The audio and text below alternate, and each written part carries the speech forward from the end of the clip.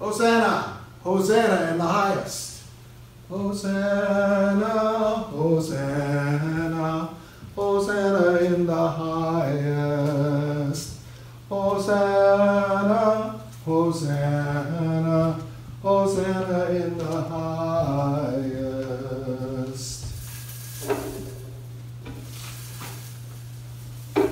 Good morning.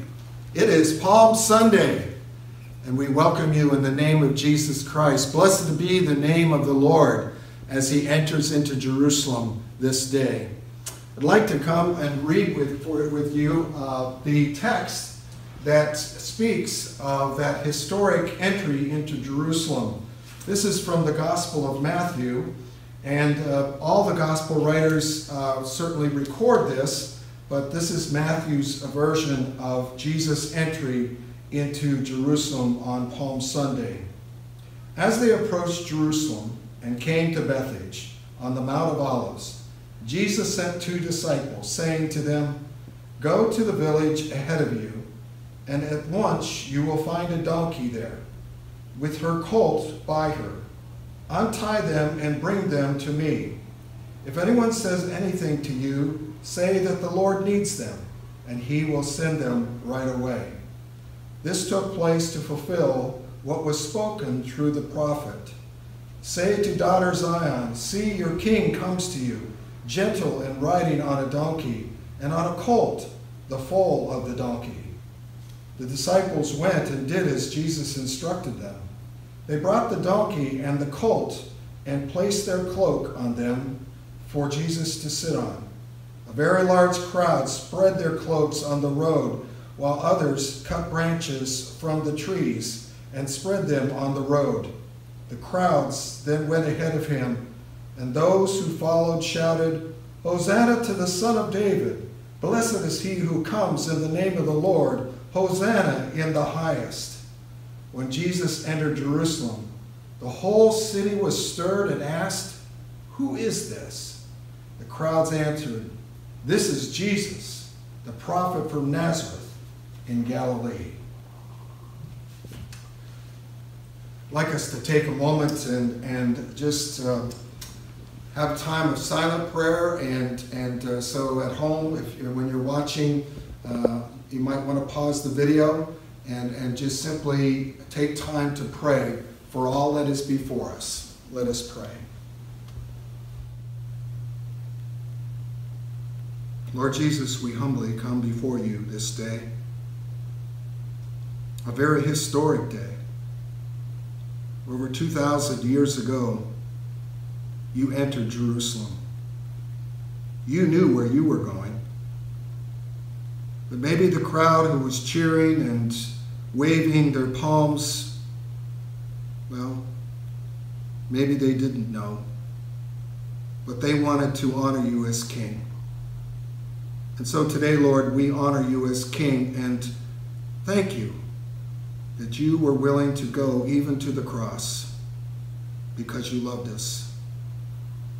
Thank you, Lord Jesus, for blessing us. And we reach out to you right now. Speak to us, Lord, as we seek your face, as we seek your peace. We reach out to you now and take your hand. Thank you, O Lord Jesus. Amen. The second of our scriptures this morning is uh, taken from Paul's letter to the Christians in Philippi. And uh, Paul is writing to Christians uh, from his uh, being in, in jail. And, and he talks about Christ's hum humility and how we need to model that. Hear this word from the Apostle Paul.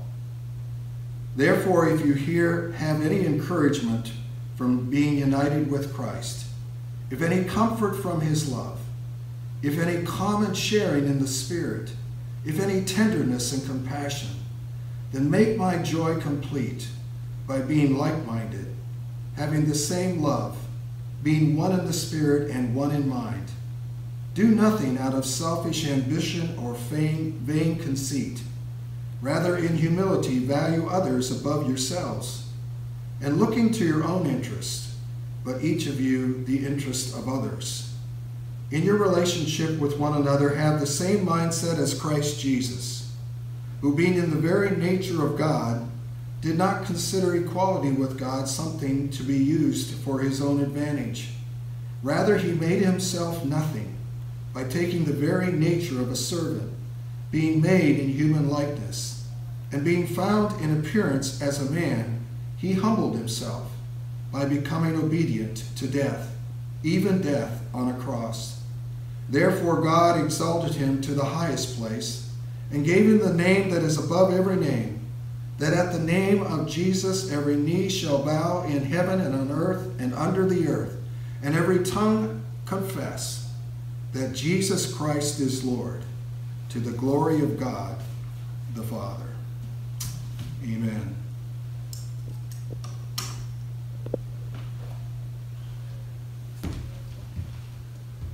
Today is Palm Sunday, and, and uh, um, one of the ways that uh, we have been taught over the years to look at Scripture uh, is through what we call disciple Bible study.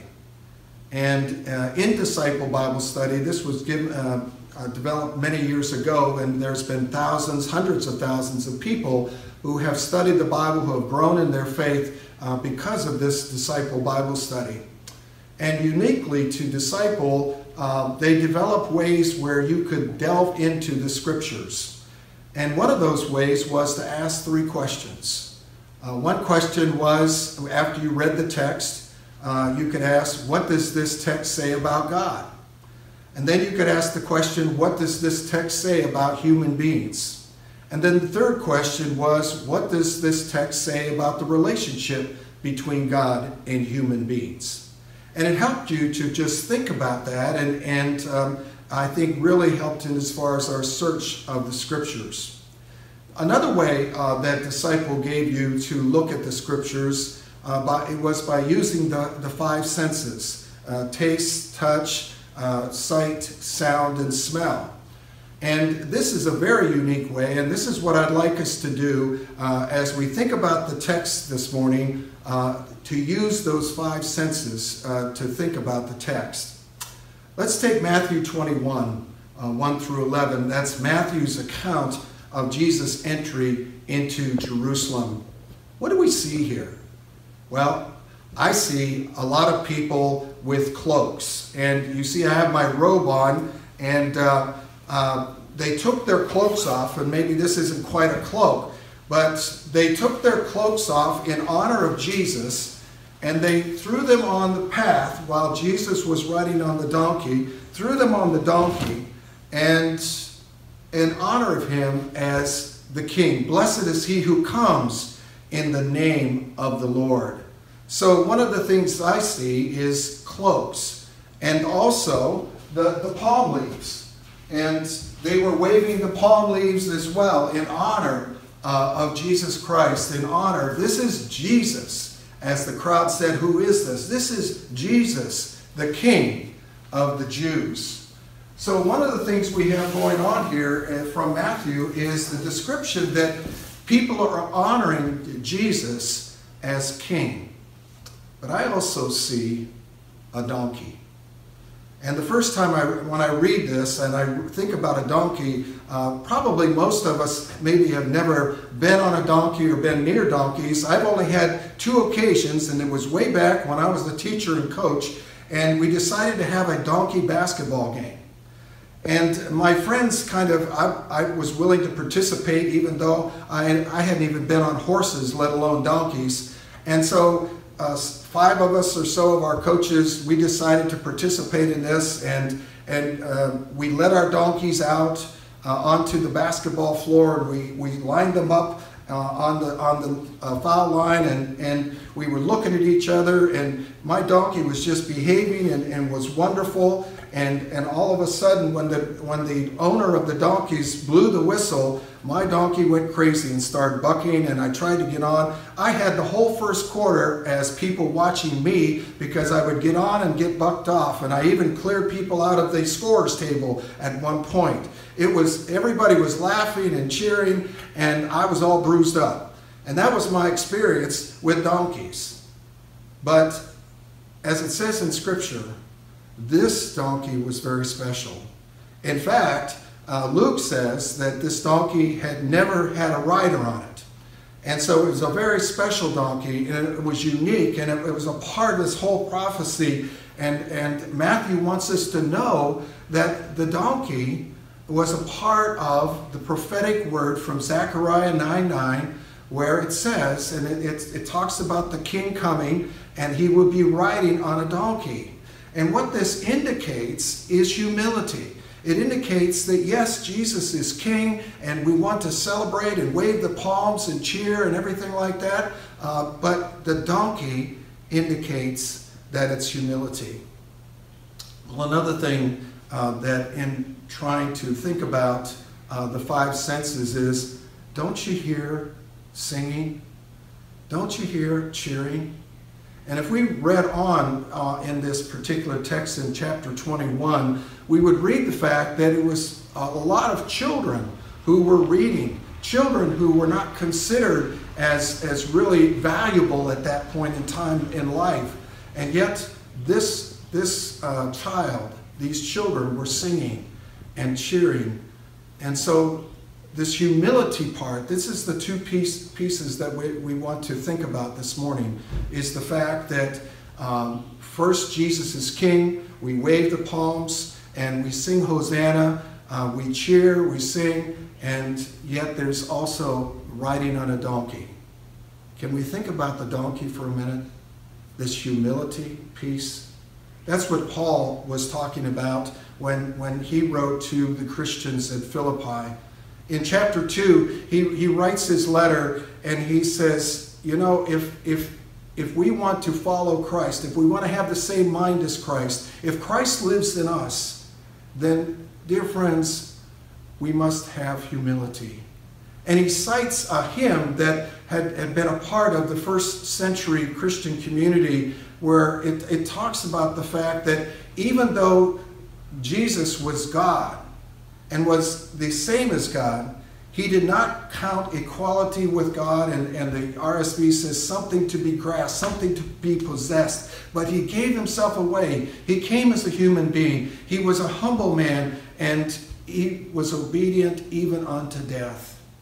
And then it goes on to say that uh, even though uh, he was obedient unto death, God raised him up and he now has the name that is above every name, that at the name of Jesus every knee shall bow, every tongue confess that Jesus Christ is Lord to the glory of God the Father.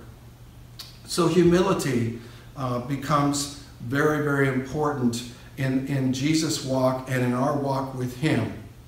So what does humility look like right now?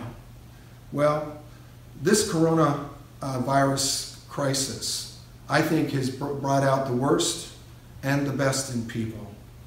The worst might be an example would be that uh, people try to take advantage uh, of the demise of others. And uh, we understand that some people are advertising these um, miracle cures over the internet. Just buy my product and you will be uh, cured of the coronavirus. And it's a way of taking advantage of people, and, and it's sad.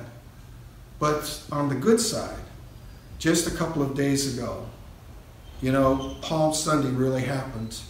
And what I mean that by that is I was watching TV and I saw in New York where the uh, first responders, the police and the fire, were lined up right by the hospital and they were clapping and they were cheering. It was like they were cheering, Hosanna, Hosanna in the highest. Blessed is he who comes in the name of the Lord because they were cheering the doctors and the nurses, those who put themselves at risk every day, and some have died. That's exactly the humility that we need. That right now, let's acknowledge the, the people who are on that front line, those, those people who are risking their lives. It reminds us that it was Jesus who came and humbled himself and was obedient even unto a cross. But he was highly exalted by God and now has the name that is above every name that at the name of Jesus every knee shall bow and tongue confess that he is Lord. Dear friends, there's two things for Palm Sunday. We can wave our palms and we can put our cloaks in front in honor of Jesus, for he is king. But he was a humble king. And can so Lord, uh, today I pray that we can emulate that, that we can have the mind of Christ and we can encourage one another, we can lift one another up and cheer one another on during this time when people are so depressed. We can say thank you in Jesus' name. Amen. The last song that I was thinking about is, is um, and I'm, I'm, and I'm, I'm not going to sing it, but uh, I want you to look at it and, and think about it. It's called I Surrender All. All to Jesus I surrender. I surrender all. And one of the verses talks about being humble and humbling ourselves before Him, that He might raise us up. So I invite you to look at that hymn and, and just hum it to yourself and think about how we can be humble uh, during this time of distress. Let us pray.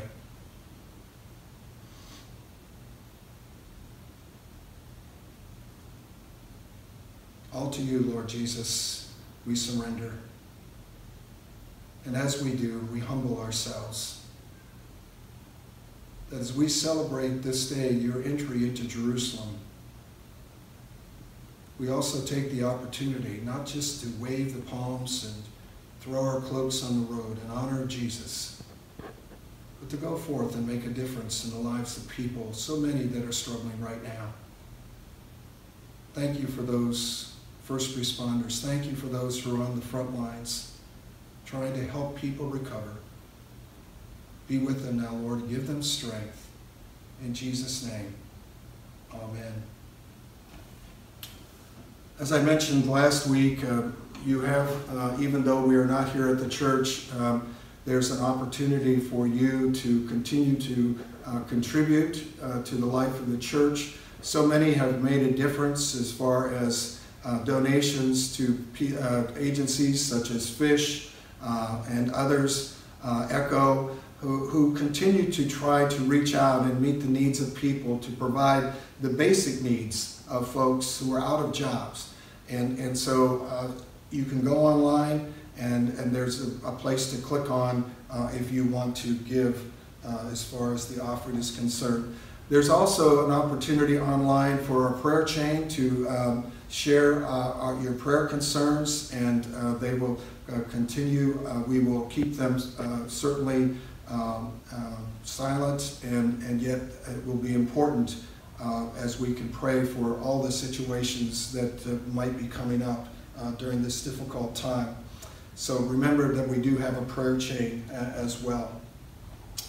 Uh, the Holy Week schedule, uh, as we continue, uh, that uh, there will be a combined service of, of Good Friday and Maundy Thursday, and hopefully we'll be having that out on, on Maundy Thursday that you could celebrate at home and celebrate communion at home.